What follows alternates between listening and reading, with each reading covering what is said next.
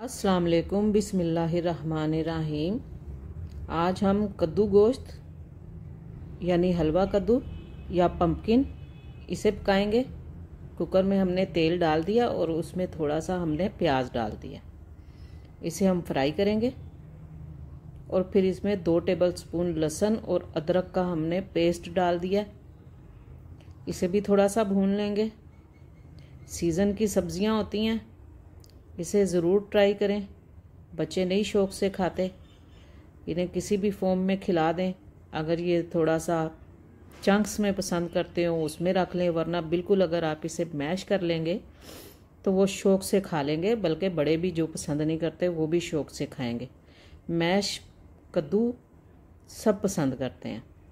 तो अब हम इसमें डाल देंगे चिकन ये भी इसीलिए डाला है ताकि बच्चे शौक से खा लें। क्योंकि आजकल के जो बच्चे हैं, वो चिकन ज़्यादा शौक से खाते हैं। इसे हम फ्राई करेंगे कि इसका जो है कलर बदल जाए और इसके ऊपर थोड़ा सा गोल्डन कलर आ जाए गोश्त के ऊपर। और चिकन की जो महक है या हीक है, इस तरह वो भी ख़त्म हो जाएगी और इसमें बहुत मज़ेदार सी और एक अच्छी सी खुशबू आ जाएगी, मसाले की, लहसुन अदरक की और प्याज की। तो अब हम इसमें डाल देंगे पेस्ट मिर्चों का और टमाटर का। इसे भी डालकर भूनेंगे।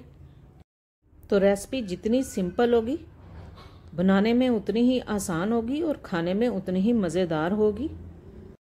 तो सिंपल आसान और मज़ेदार रेसिपीज़ के लिए प्लीज़ मेरे साथ रहें।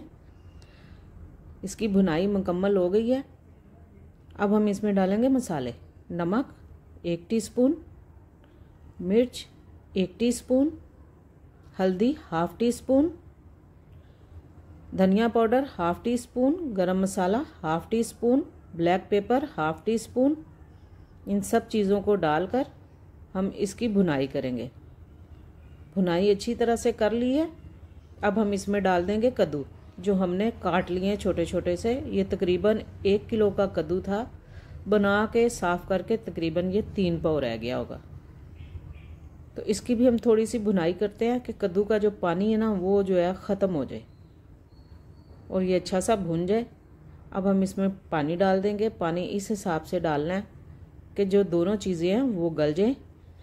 हम इसे 12 से 15 मिनट के लिए लगा देंगे और इन ये इसी में गल जाएगा।